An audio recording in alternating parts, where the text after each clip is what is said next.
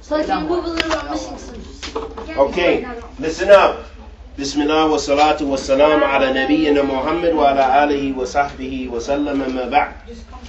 So I want to talk about a hadith. I think that many of you should have heard this hadith, at least part of the hadith, a very famous uh, part of the hadith, which tells us about the importance of sharing knowledge, about sharing knowledge, about seeking knowledge and sharing knowledge, as we're going to talk, as we're going to discuss.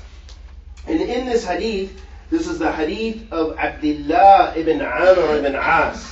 So, وعن عبد الله بن عامر بن عاص رضي الله عنهما أن النبي صلى الله عليه وسلم قال بلغ عني ولو آية وحدثوا عن بني إسرائيل ولا حرج ومن كذب علي متعمدا في- فليتبوأ مقعده من النار رواه Bukhari wa Ahmed.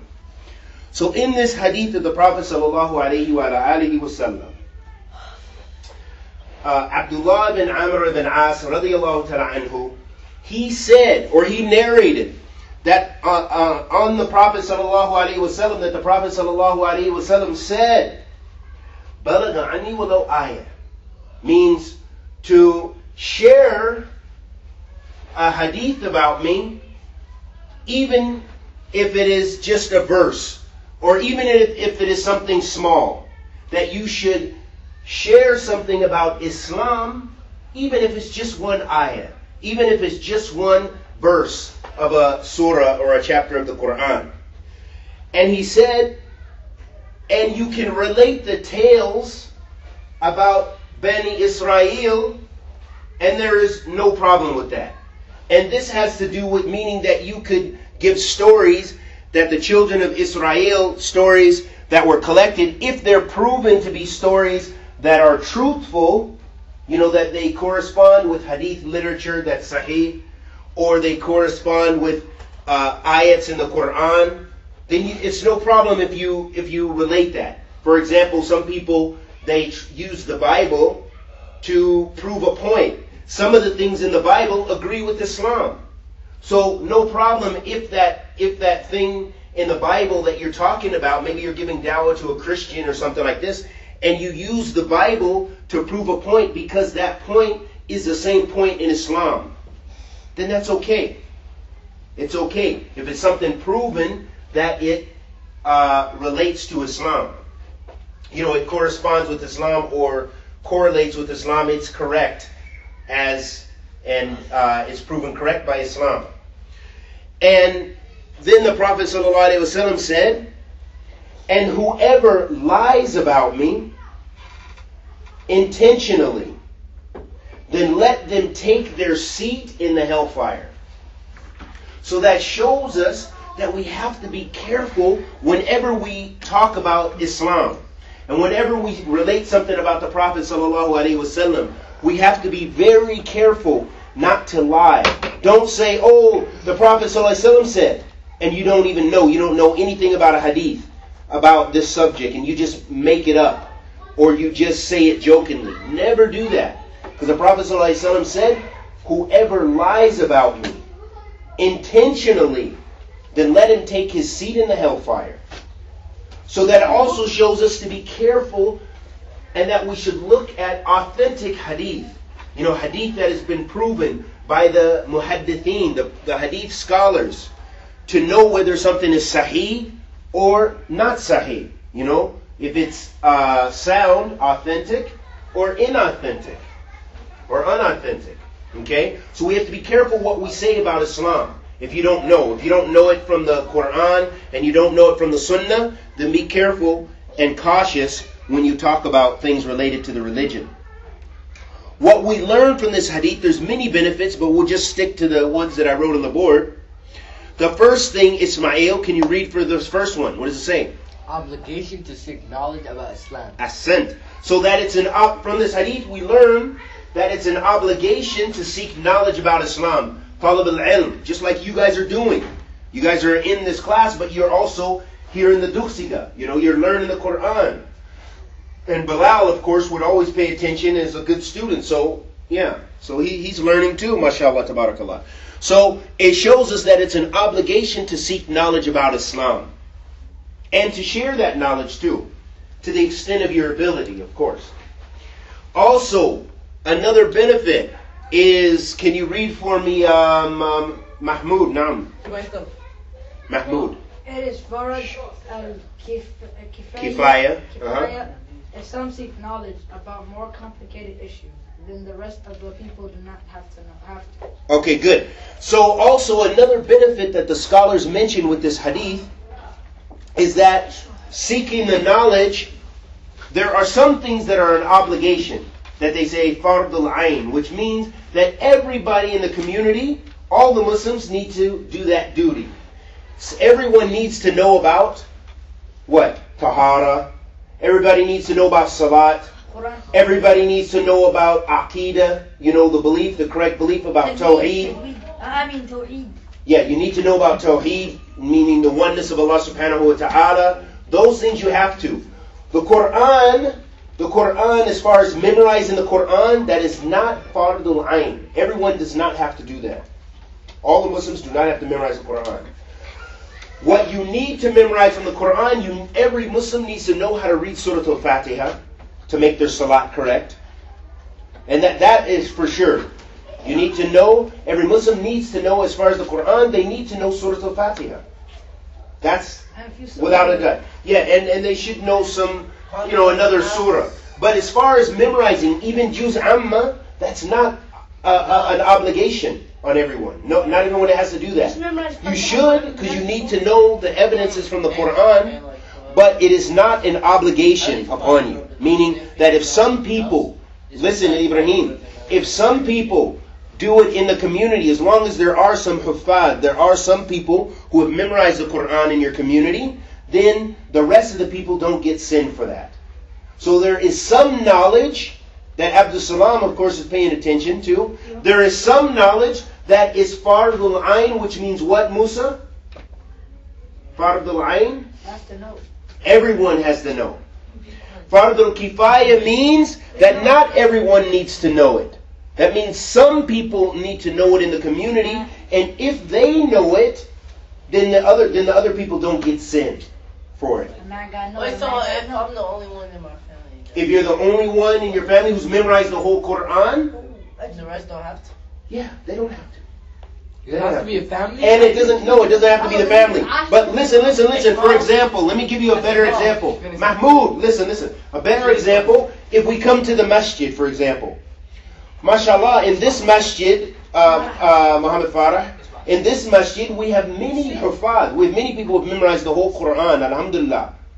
So, as far as to be able to lead the prayer and, and teach the Quran and things like this, we have people who have f- fulfilled the fardul kifaya. You know, that somebody amongst us knows how, knows the whole Quran. So everyone doesn't have to. We're talking about being an obligation. Everyone doesn't have to. Okay? Everybody doesn't have to memorize the Quran. And the fact that you guys memorize the Quran, and if you memorize the whole Quran, bi'idhnillah, and you can lead the salat, you know something from the sunnah and so forth, and you know how to pray properly, then maybe you guys in the future will be leading communities, other communities. Maybe here or maybe around the world. Maybe you'll go out. Musa memorized and we send him here. So and so goes to Kenya. So and so goes to Somalia. So and so goes to Yemen or whatever. And and you will be maybe an imam because you have done the fardhu kifaya. You did that extra seeking of the knowledge and you learned something that is not an obligation upon everyone. So as long as you as an individual have this certain knowledge or do this certain action in Islam, then it is not an obligation on the rest. And I'll give you another example. Hold on. Another example, Abdul Salam of the Fardul Kifaya. For example, Salatul Janazah. Every time someone dies, do, do we all have to pray? No. No. But it's Fardul Kifaya. Means that some people, as long as some some of the Muslims do it, then no one else gets sin. But if a Muslim dies and no one prays over him, and they and they know about this, then we all get sin. Oh, um, Yeah, who's there? yeah, yeah. The whole world. So so You have to listen because it's an obligation on the Muslims to carry out that duty. No, at least the, for sure the people in that locality will get sin. Why? Because they did not do the fard al kifaya. That was an obligation that at least some of the Muslims have to do. But every time someone dies here in Seattle, for example, the whole Seattle community doesn't have to pray over him, no, him or her. But as long as some people, even if it's just two, or even if it's one, as long as someone prays over him, then the rest don't get sin. Then they, they did the fard al kifaya. Fard al ayn means everyone has to do it. So if it's uh, another example like the, the seeking the knowledge about Tawheed, everyone has to do it. Yeah, hold on. Let me let me finish this hadith first. Okay, so then that was a little bit about fardul kifaya and related to this about seeking the knowledge. So some of the knowledge is fardul ayn, meaning everyone has to know, like tawheed and salat and so forth. And some of it is fardul kifaya, as long as some people in the community know it, then the rest do not get sin or it's not obligation upon them. The last thing, uh, Abdul Salam, is what? Read number three for me. Lying about the Prophet or something in Islam is a major sin. Good. So lying about the Prophet sallallahu alaihi wasallam or something in Islam or lying about Allah subhanahu wa ta'ala, this is one of the biggest sins you could do. Never say, oh, the Prophet wasallam said.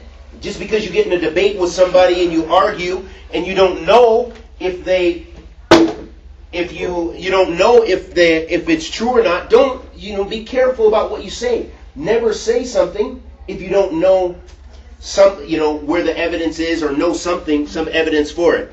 Tayyib, because that's a major sin to speak about Allah, to lie about Allah or the Prophet sallallahu alaihi wasallam. And the fourth thing, read for me, Bilal, huh? Good. So sharing knowledge about Islam will give you reward. That when you, you know, as the Prophet wasallam said, "Balagha anni walau ayah." You know, so basically, you know, relate some knowledge about me or about the religion, even if it's just one verse. That doesn't mean, though, very important point, this is the last point I want to make, that does not mean, like some of the groups and people who get together and use this evidence to say, ayat, so they believe in just going making dawah everywhere and, the, and without knowledge. No, you must have knowledge to make dawah. You must have, you know, you can say the little bit that you know, but don't be go beyond the bounds. And do not uh, just start speaking about Islam without knowledge. You should study Islam. Al-ilm. Imam Bukhari said, Al-ilm qabla al-qawli wal-amal. Did you say Imam Bukhari and I agree? What? Yeah. So Imam Bukhari, rahimahullah ta'ala, one of the great scholars of hadith, in his book he had a chapter called Knowledge Precedes Statements and Actions. Meaning that before you speak about something in Islam and before you do something, you have to have knowledge about it. For example, let's give you a real world example, Muhammad Farah. If you want if you want to do surgery, Muhammad Farah, can we ask you to do surgery for us? No, we can't. Why? Because he doesn't have knowledge of being a surgeon. He didn't go to school. He's not a physician. So if he does surgery on us, we could be in a lot of trouble. He might say, "Oh, let me take that part out and put something uh-huh. else there." And I, I you know, so I don't, I don't trust Muhammad Farah like that. I love him. He's my brother, but I don't trust him to just cut me open. And that's the same way with your knowledge about Islam. You cannot go to just anybody just because they have a beard or just because they say he's a sheikh or they say he's this. No, you should know that, oh, so and so is trustworthy with knowledge. We, we know he studied the religion, he or she studied the religion, and they can share the knowledge. So I wanted to share with you, and those are some of the benefits of that hadith. وصلى الله وسلم على نبينا محمد وعلى آله وصحبه وسلم. جزاك الله خيرا. نعم.